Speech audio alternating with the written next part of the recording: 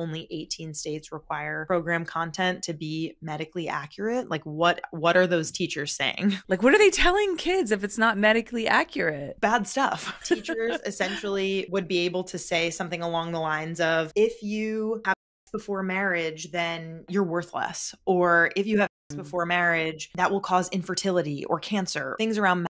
right? Like there are so many myths that are so harmful around